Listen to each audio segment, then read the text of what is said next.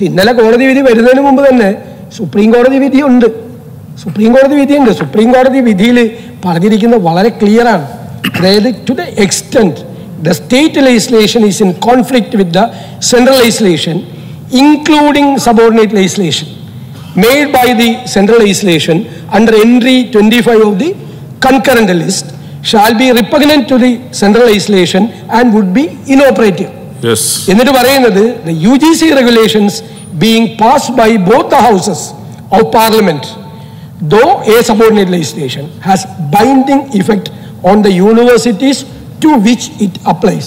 ഈ സുപ്രീം കോടതി വിധി വന്നതിന് ശേഷം പിന്നെ ഹൈക്കോടതി പഴയ ഹൈക്കോടതി വിധിയുടെ അടിസ്ഥാനത്തിൽ ഈ നിയമം തയ്യാറാക്കി എന്ന് പറയുന്നതിൽ പ്രസക്തിയില്ല വ്യത്യാസം എന്ന് വെച്ചാൽ ഇന്റർപ്രിട്ടേഷൻ എങ്ങനെ നിൽക്കുന്നുള്ളതാണ് നേരത്തെ ഉള്ള ഈ ഇന്റർപ്രിട്ടേഷൻ വന്നിരിക്കുമ്പോൾ സ്റ്റേറ്റിന്റെ ഒരു ഇന്റർപ്രിട്ടേഷനും സെൻട്രലിന്റെ ഇന്റർപ്രിട്ടേഷനും ഉള്ള സമയത്ത് സ്റ്റേറ്റിന്റെ തെറ്റാണ് സെൻട്രലിന്റെ ആണെന്നോ സെൻട്രലിന്റെ തെറ്റാണ് സ്റ്റേറ്റിന്റെ ശരിയാണെന്നോ അല്ല ഈ വിധി. What is coterminous U G C റെഗുലേഷനിൽ അല്ലാതെ മറ്റേ ഈ സബോർഡിനേറ്റ് ലെജിസ്ലേഷൻ ആ വിധിയാണ്. ഞാൻ പറഞ്ഞു അതാണ് ഞങ്ങൾക്ക് അതിനോട് വിയോജിപ്പുണ്ട്. നിങ്ങളും വിയോജിക്കേണ്ട ഭാഗം തന്നെയാണ്. പക്ഷെ അത് നിൽക്കട്ടെ. ഇതിനകത്ത് വരുമ്പോൾ ഒറ്റ ഇന്റർപ്രിട്ടേഷൻ ഉള്ളൂ. ഞങ്ങൾ ഫ്രെയിം ചെയ്യുമ്പോൾ ഉള്ള law of the land coterminous എന്ന് പറഞ്ഞാൽ തേം പൂർത്തീകരിക്കുന്നത് വരെയാണ് ഇനി അങ്ങ് പറഞ്ഞ ഈ ഭാഗം ഇപ്പൊ ഏകദേശം ക്ലിയർ ആയിരുന്നു രണ്ട് പക്ഷേ ധനകാര്യ മന്മാരുണ്ടോ ഞങ്ങൾ ഇതിനകത്ത് ചെലവ് കാണുന്നില്ല. കാരണം ഓഫീസ് അവിടെ തന്നെയാണ്. എന്താ ധനകാര്യം? സ്റ്റേറ്റ് എക്സ്ചക്കറിന് അഡീഷണൽ ചെലവ് വരുന്നതാണ്. ഞാൻ പറഞ്ഞോട്ടെ? ഇതിൽ ഞാൻ ഞാൻ പറഞ്ഞോട്ടെ? മിനിസ്റ്റർ പ്ലീസ് വന്ന സ്ഥിതിക്ക് സാധാരണ ഇതെല്ലാം അടുത്ത ഘട്ടത്തിലാണ് വരേണ്ടത്. പറഞ്ഞാൽ മതി. ബഹുമാനപ്പെട്ട രമേശ് ചെന്നിത്തല ഇവിടെ പ്രസംഗിച്ചപ്പോഴും അദ്ദേഹം നടത്തിയ എഴുതിയതിൽ ഒരു പ്രയോഗമുണ്ട്. അത് ശരിയായ പ്രയോഗമല്ല. അങ്ങ് എഴുതിയിരിക്കുന്നത് ബില്ല് ഗവർണറുടെ അംഗീകാരത്തിനായി സമർപ്പിക്കപ്പെടേണ്ടി വരുമെന്ന സാഹചര്യം ഒഴിവാക്കുന്നതിനാണ് ഈ ബില്ലിലെ ധനകാര്യ മെമ്മോറാണ്ടത്തിന്റെ കാര്യത്തിൽ ഇത്തരം ഒരു വളഞ്ഞ വഴി. ഞങ്ങൾക്കൊരു വളഞ്ഞ വഴിയില്ല. ഞങ്ങളുടെ ഒരു ഒരു ബില്ല് ഞാൻ ഞാൻ പറഞ്ഞോട്ടെ ഒരു ബില്ല് ഗവർണറുടെ അടുത്ത് പോയി വന്നതാ. ഗവർണറുടെ അടുത്തേക്ക് പോയത് ഒരു ബില്ല് ഗവർണറുടെ അനുമതിയോടുകൂടി ബില്ല് അവിടെ വെച്ചേക്കണത്. അപ്പൊ അത് ഗവർണറുടെ അടുത്ത് പോകാതിരിക്കാൻ വേണ്ടിയാണ് ഇത് ഒഴിവാക്കുന്നത്. ഇപ്പോ ഇവിടുത്തെ നമ്മുടെ മണി ബില്ലുമായി ബന്ധപ്പെട്ട് ഗവർണറുടെ അടുത്ത് പോയല്ലോ? ഈ ബില്ലിന്റെ ഒരു ബില്ല് എന്താ രണ്ട് ബില്ല് വന്നേ. ബിൽ വൺ ബിൽ ടു എന്താ വന്നത്? ഒറ്റ ബില്ല് മതിയായിരുന്നില്ലേ? എന്നുവെച്ചാൽ മൂല നിയമം ഇംഗ്ലീഷിലാണെങ്കിൽ അമൻമെന്റ് ഇംഗ്ലീഷിലായിരിക്കണം.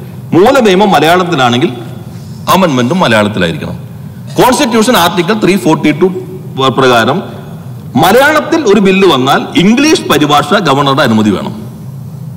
ഉദാഹരണത്തിന് ഫോർട്ടി ടു ത്രീ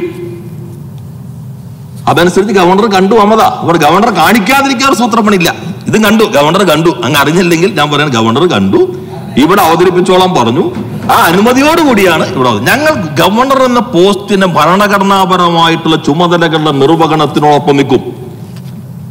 ഗവർണറുടെ നിലപാട് രാഷ്ട്രീയ ഞങ്ങൾക്ക് വിയോജിപ്പുണ്ടാകാം. നിങ്ങൾ പറഞ്ഞ അടയം ചക്കരി ഗവർണർ ഭരണഘടനാപരമായി പ്രവർത്തിക്കേണ്ട ഘട്ടത്തിൽ എത്ര വ്യത്യസ്തതയുണ്ടെങ്കിലും ആ അഭിപ്രായം ഭരണഘടനാ ചുമതല നിർവഹണത്തിൽ ഉണ്ടാവില്ല.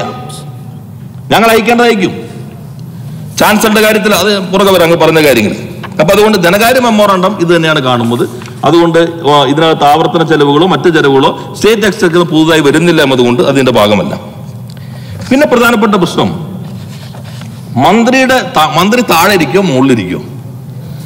അങ്ങ് അതിനകത്ത് അങ്ങ് വളരെ നന്നായി ഫ്രെയിം ചെയ്തിട്ടുള്ളതാണ്. മുൻ പ്രതിപക്ഷ നേതാവ്. അദ്ദേഹം പരിണതപ്രജ്ഞനാണല്ലോ ഓർഡർ ഓഫ് പ്രസിഡൻസിന്റെ നാലാം സ്ഥാനത്താണ് ഗവർണർ മന്ത്രിമാർ പതിനഞ്ചാം സ്ഥാനത്താണ്. അത് മന്ത്രിമാരെന്ന നിലയിലും ഗവർണർ നിലയിലാണ് ചാൻസലർക്ക് ഓർഡർ ഇതിനകത്ത് സ്ഥാനമുണ്ടോ? മന്ത്രി അവിടെ പോയിരിക്കുന്നത് ഡിസ്ചാർജിങ് ദ സ്റ്റാറ്റ്യൂട്ടറി ഡ്യൂട്ടീസ് ആണ്. മന്ത്രി ഇവിടെ ഇരിക്കുന്നത് ഇപ്പൊ നിങ്ങൾ പറയല്ലേ ഇവിടെ ബഹുമാനെ കൊടുനാടുമ്പോ ഇടയ്ക്ക് പ്രതിപക്ഷ നേതാവ് പറയുന്നുണ്ട് നിങ്ങൾക്ക് എന്താ പ്രിവിലേജ് നിയമമന്ത്രിക്ക് എന്താ പ്രിവിലേജ് ഇവർക്ക് എന്താ ഇപ്പൊ സ്പീക്കർക്ക് എന്താ പ്രിവിലേജ് മന്ത്രിക്ക് എന്താ പ്രിവിലേജ് ഞങ്ങൾക്ക് പ്രിവിലേജ് എന്ന് ഭരണഘടനയാണ് ഭരണഘടന നൂറ്റി എഴുപത്തി ഏഴ് നിങ്ങൾ വായിച്ചു നോക്കിക്കോളൂ. ഈ സഭ നടക്കുമ്പോ ഏത് ഘട്ടത്തിലും മന്ത്രിക്ക് ഇടപെടാം. ഇപ്പൊ ഞങ്ങളെ ഞാൻ പറയാതിരുന്നത് കാരണം നിങ്ങളെല്ലാം കുറെ കാലമായി ഉള്ളവരാണല്ലോ. എന്ത് മന്ത്രി ഇടപെട്ടെ? ഏത് ഘട്ടം? നൂറ്റി എഴുപത്തി ഏഴ് വായിച്ചു നോക്കിക്കോളൂ. പ്രതിപക്ഷ മേധാവിനുള്ള പ്രിവിലേജ് എന്താ? ഭരണഘടനാപരല്ല. പ്രിവിലേജ് എന്താ? ചട്ടപ്രകാരമാണോ? അതുമല്ല. പ്രിവിലേജ് എന്താ? ജനാധിപത്യത്തിന്റെ അമ്പസത്ത ഉയർത്തിപ്പിടിച്ചുകൊണ്ട് കാലങ്ങളിലൂടെ സൃഷ്ടിക്കപ്പെട്ട കീഴ്വഴക്കമാണ്. ആ പ്രസിഡന്റ് ആണ് പ്രതിപക്ഷ നേതാവ്. ഇപ്പൊ ചിലപ്പോ അദ്ദേഹം പറയാം I am on my legs ഇല്ല. അങ്ങ് നിൽക്കുക ഇരിക്കുമ്പോ നിൽക്കുമ്പോ ഞങ്ങൾ ഇരിക്കേണ്ട കാര്യമില്ല ഞങ്ങൾ പാർലമെന്റിലോ ആകെ ഒരാളെ പറയുള്ളൂ. ചെയർ ചെയർ പറയും I am on my legs അപ്പൊ എല്ലാവരും ഇരിക്കണം. കാരണം ചെയറിനുള്ള സവിശേഷ അധികാരം അല്ലാണ്ട് ഇരിക്കില്ല. ഞാൻ മന്ത്രിയാണെങ്കിൽ I am on my legs എന്ന് പറഞ്ഞാൽ നിങ്ങൾ ഇരിക്കേണ്ട കാര്യമില്ല. അത് ഇതാണ്.